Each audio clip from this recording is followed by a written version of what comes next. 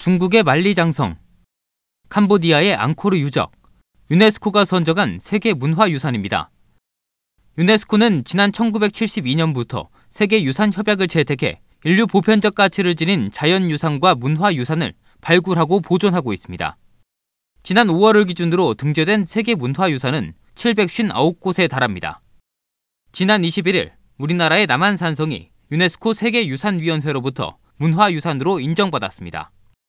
석굴암과 불국사 등에 이어 우리나라 문화재 가운데 11번째로 이름을 올렸습니다.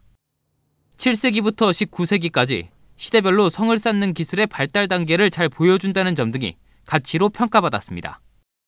조선 성곽 기술의 과학 기술이 총 직결체였다라는 것을 이제 전 세계적으로 인정을 해줬다는 것입니다. 신라 시대부터 조선 시대까지 국방의 중요한 역할을 담당한 남한산성은 크게 성곽을 중심으로 하는 산성과 행궁 구역으로 나뉩니다. 총 11.76km의 길이로 외부의 침입을 막기 위한 성곽은 해발 500m가 넘는 지형을 따라 펼쳐집니다. 과거 병자호란 당시 남한산성으로 피신한 인조가 47일 동안 머물며 항전했던 행궁은 우리 민족의 아픔과 극복의 역사를 담고 있습니다.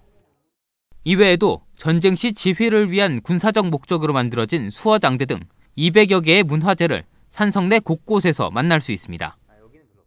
The view is really amazing. Like, I mean, I can feel the same atmosphere, but with in another culture.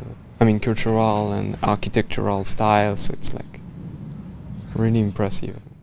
돌 하나하나 만드셔서 그 엄청난 돌을 이렇게 하셨다는 게 정말 놀라워요. 와서 보니까 너무 좋아요. 경기도는 남한산성의 세계문화유산 등재에 만족하지 않고 오는 7월 보전 관리 방향을 정립, 9월부터 본격적으로 세계적인 역사 문화 유적지로 만들기 위한 중장기 계획을 추진한다는 입장입니다. 전문가들은 무분별한 개발과 관광객에 의한 훼손 방지 등 남한산성 보호 대책이 우선돼야 한다고 당부했습니다.